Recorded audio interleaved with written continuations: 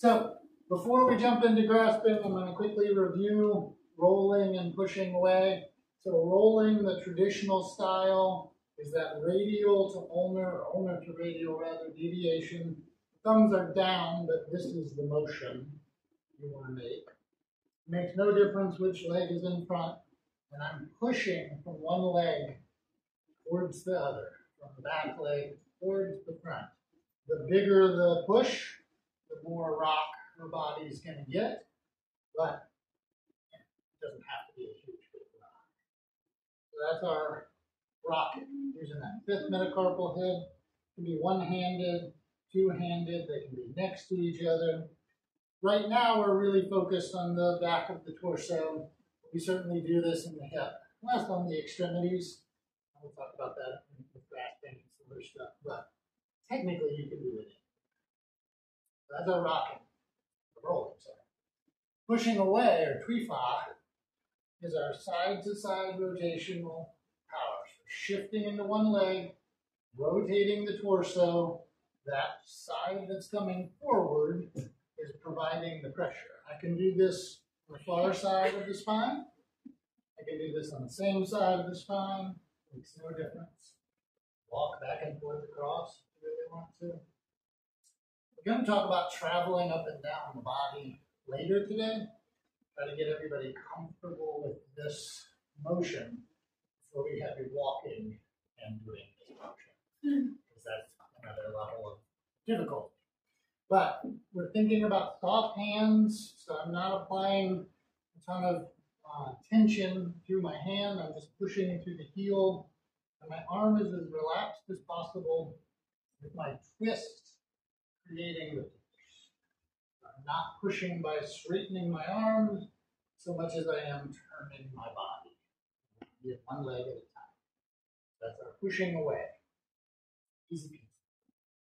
Everyone's experts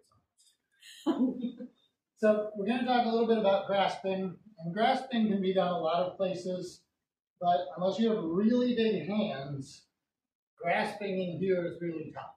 You can get a hold of a little bit of the paraspinals, but grasping is easier on things like the neck, the arms. I'm just going to use her legs because they're here in the camera shot. So, what I'm going to do, I'm not going to pull the blanket off. I'm just going to give myself a little bit of slack here so you can kind of see where, where I'm working. Grasping does use some pressure with the hands, but I'm not pinching with my fingertips. I'm squeezing the inside surface of all of the digits, fingers and the thumb, all of the surface of that interior palmar side. And there are two ways we're going to do this. You may have guessed already. One is shifting forward to back, one is shifting side to side. So if I'm doing two-handed grasping, where I'm going to be grasping and pulling with both hands simultaneously, I'm going to use back.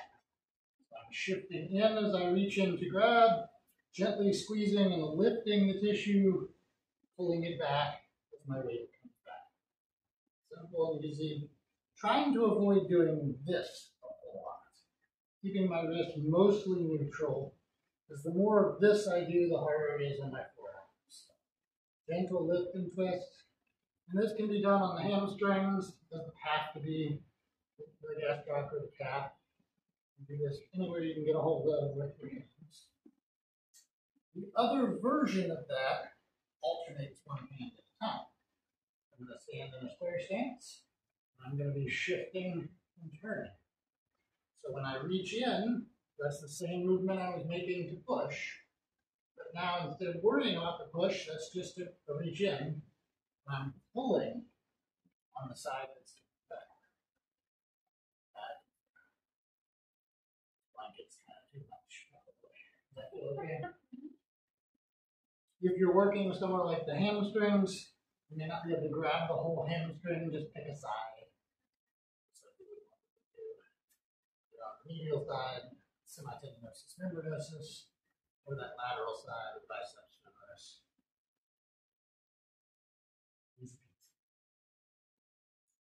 The same is true, same mechanics work if you're working on the arm. Not feel your arm here. So I can do this with my body moving forward to back, both hands lifting, or I can do this alternating if I stand square to the part of the arm.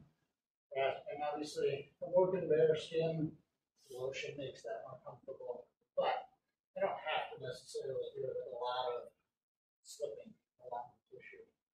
Works easily, forearms, same kind of thing, even to some degree the neck. I tend not to try to alternate if I'm working in the neck in this position.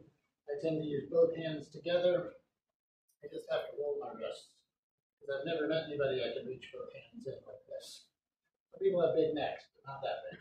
So I end up with the backs of my hands curled towards each other a little bit. I'm doing the same kind of thing. Obviously, you know, pay attention to your patient and their comfort. Their fingers and toes curl all up. You probably get a little aggressive. So let me know, Summer, if I push you into the bar or Glorious. glorious. It's terrible. You need more practice. Bad chocolate chip cookie. it's a Chips ahoy.